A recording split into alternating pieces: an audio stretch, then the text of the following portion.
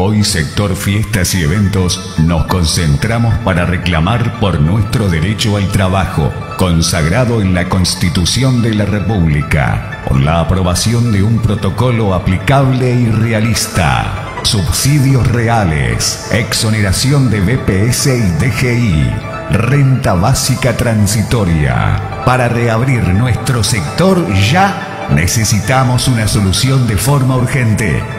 No nos dejen solos. Que se nos escuche y que no pare la fiesta.